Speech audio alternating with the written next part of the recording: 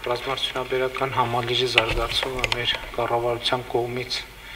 հրճակված է որպես առաջնահերթություն եւ մենք այստեղ իսկ իհարկե պետք է կարողանանք շատ լուրջ փոփոխությունների եւ արդյունքների հասնել եւ սրա համար անհրաժեշտ է իհարկե իրականացնել եւ կառուցվածքային փոփոխություններ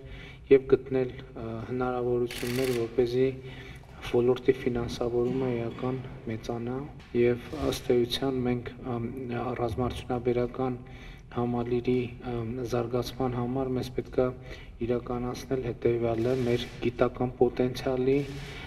մասնավոր ներդրումների եւ պետական կառավարման համակարգի շատ հստակ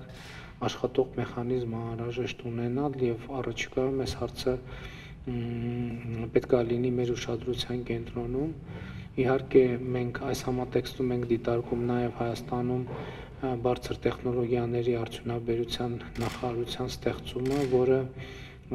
կարևոր, բայց ոչ բավարար պայման է, որպեսզի մենք կարողանանք ոլորտում հասնել լուրջ փոփոխությունների։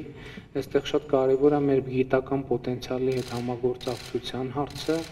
եւ շատ կարեւոր է նաեւ պաշտպանության նախարարության գլխավոր շտաբի վերլուծական աշխատանքը մեր զինված ուժերի կարիքների համար, որովհետեւ շատ կարևոր է որ նույնիսկ այն միջոցները դրանք շատ են թե քիչ են, բայց կարևոր է որ իհարկե կարևոր է որ շատ լինեն, բայց շատ լինելու պարագայում նաեւ պետքա թիրախները ճիշտ որոշվեն, պետքա ճիշտ որոշվեն, թե մենք ինչ ինչ կարգի մշակումների, հետազոտությունների եւ արտադրանքի եւ սպառազինության եւ տեխնիկայի կարիք ունենք եւ դրանց որ մասի մշակումը, արտադրությունը եւ արդիականացումը կարող ենք իրականացնել Հայաստանի Հանրապետությունում։ Ընդհանուր առմամբ իհարկե այսօր մենք որոշակի կարողություններ ունենք Հայաստանի Հանրապետությունում, բայց այդ կարողությունների ծավալը եւ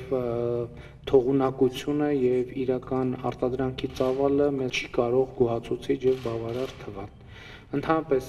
ես կարծում եմ, որ նաեւ այս ոլորտում, մյուս ոլորտներում նույնպես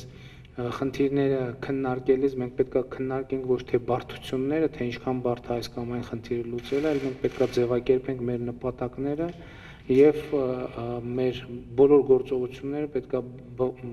բխեն այդ նպատակներին հասնելու առաջնահերթությունից եւ այն միջավայրը աշխարհքաղաքական միջավայրը ռազմաքաղաքական միջավայրը եւ որ այսօր կա մեր տարածաշրջանում մեզ թույլ չի տալիս յոլա գնալու տրամաբանությամբ ապրել որովհետեւ յոլա գնալու տրամաբանությամբ մենք ընդհանրապես սպառում ենք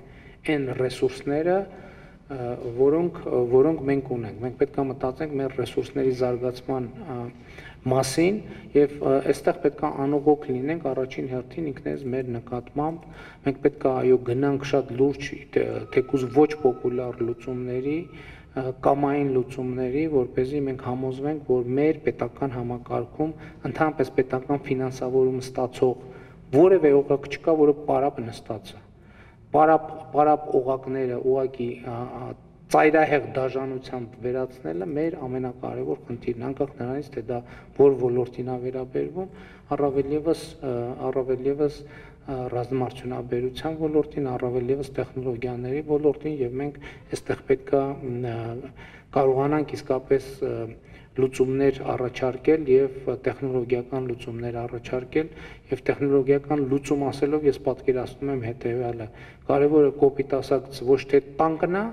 այլ կարևոր այն խնդիրն է, որի միջոցով որը մենք ուզում ենք լուծել տանկի միջոցով։ Հետևաբար տանկը չի կարևոր, այլ խնդիրը եւ այդ խնդրի լուծումը։ Եվ մեր մտածելակերպը պետքա լինի գտնել մի միջոց, որը կլուծի այդ խնդիրը անկախ նայած դրանով տանկա թե որը որևէ ուրիշ բան է հետեւաբար մեր տրամաբանությունը ռազմարտությունաբերության ոլորտում գիտության տեխնոլոգիայի ոլորտում հենց այսպես պետք է աշխատի մենք պետք է հասկանանք մեր խնդիրները եւ մեր լուծումները եւ դուրս գանք այդ լուծումների գործիքների վերաբերյալ եղած ավանդական պատկերացումներից որ เป զի կարողանանք տեխնոլոգիական որոշակի առաջընթաց եւ փոփոխություն առաջնորդել եւ որպես ամենավառ օրինակ, ասենք նամակի նամակի խնդիրը սովորաբար եղել է տեղեկատվությունը A կետից B կետը հասնելը բայց եթե մարդիկ ծրարի եւ թղթի եւ գրիչի տրամաբանությանը կպած մնային, միջև հիմա էլեկտրոնային փոստը չէին ստեղծի։ Մեր խնդիրը այդպիսի փոփոխություն անելն է